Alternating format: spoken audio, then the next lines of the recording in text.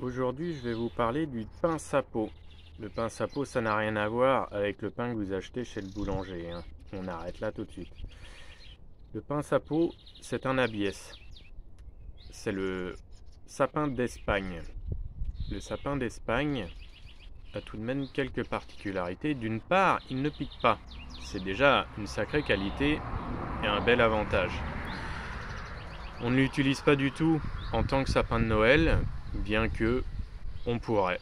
Pour avoir une plante originale, cela dit, vu le prix, ça fait un peu mal. Alors voilà à quoi ça ressemble. Alors c'est un sapin qui n'est absolument pas piquant. On pourrait croire que c'est une sorte de faux sapin, un sapin un petit peu en plastique. Il a des pousses un petit peu caoutchouteuses. Surtout les jeunes pousses. Les... Le vieux feuillage est assez raide, mais absolument pas piquant. Alors on peut le toucher sans problème. Il ne mord pas, il ne pique pas. Vraiment pas de problème à ce niveau-là. Alors à feuilles vertes, c'est un arbre qui peut atteindre tout de même une certaine hauteur, jusqu'à 25 mètres, bien qu'il ne pousse pas particulièrement vite. Ce sapin d'Espagne est aujourd'hui disponible dans plusieurs variétés. Celui-ci, c'est la variété Glauca. Alors, il est beaucoup plus bleu que le sapin d'Espagne classique. Ce n'est pas un arbre qui pousse très très régulièrement. Au départ, euh, il peut former un cône, mais il peut aussi changer un peu de forme, s'arrondir plus ou moins, et parfois aussi former plusieurs flèches. Or, c'est un conifère qui est plutôt agréable au jardin. Il est assez euh, joli et ne pose pas trop de problèmes, mais il faut tout de même le planter dans un sol relativement sec. Parce que d'une part, venant d'Espagne, il a plutôt tendance à pousser dans les sols secs, voire alcalins. Et c'est absolument pas une plante aquatique ou une plante de sol humide. Il aurait même tendance à pourrir et à attraper des champignons en sol humide. Alors, il résiste à la taille, mais seulement à des tailles légères. Et ce que j'aime beaucoup, c'est que c'est un sapin qui a un côté original. Quand on le regarde de près, déjà, on pourrait presque croire que c'est un sapin en plastique. Il est très joli, surtout celui-ci qui est très bleuté. Il fait de beaux contrastes avec les autres conifères.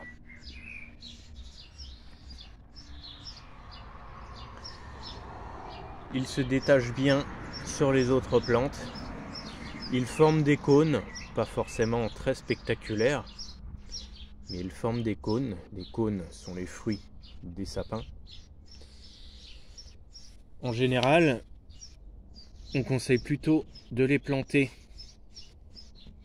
en isolé, mais on peut aussi très bien les planter en massif et les tailler. Mais en isolé sur une pelouse, ils sont tout de même magnifiques. On les remarque beaucoup plus. On peut les travailler un petit peu, bien sûr, dégager les troncs, et puis euh, bien évidemment leur donner une forme.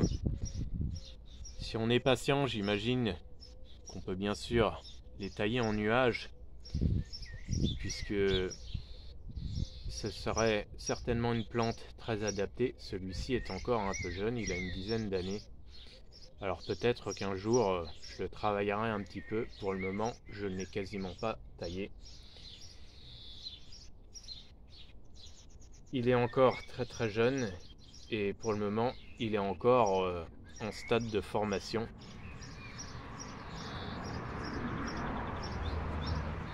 On voit que le feuillage tient très longtemps sur ce conifère parce que si on regarde à l'intérieur,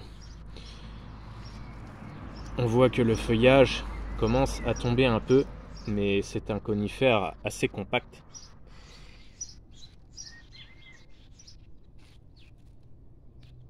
Et même sur le tronc, on voit encore du feuillage. Ce seraient des feuilles qui auront euh, déjà 6-8 ans.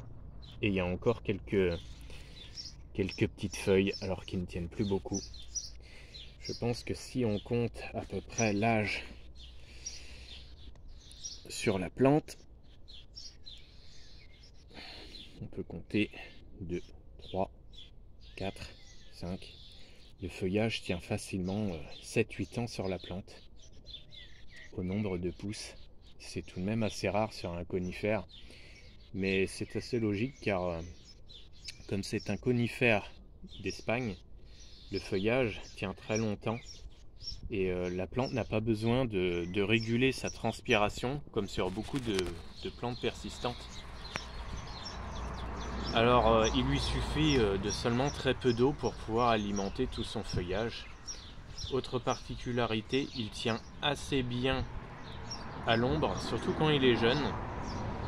Mais celui-ci, comme il est bleu, on le plantera de préférence avec un peu de lumière tout de même.